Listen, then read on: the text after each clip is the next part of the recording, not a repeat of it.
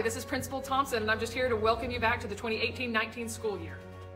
As you can see, we've had a huge renovation over the summer, and we are so excited to welcome you into this bright, shiny space.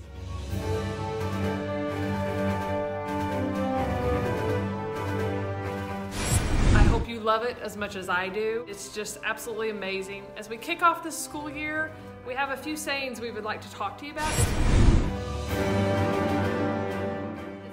respect yourself and others.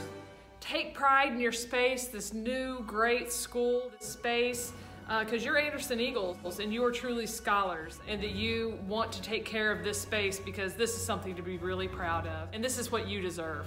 And as you felt that excitement as you entered this building this morning, we are hoping that spills over into your learning and that you take pride and you're just as excited about all the learning you have to do this year. When you're moving through the building, we ask that you move with purpose. And that means going from one spot to the next spot with an urgency. Um, because we don't want to hang out in the hallways and miss any part of our day. The last thing I want to talk to you about is choosing kindness. At some point or another has felt bad or has had some had something unkind, maybe even bullying happen. And we're just hoping that we don't deal with any of that at Anderson because that's not the Anderson way.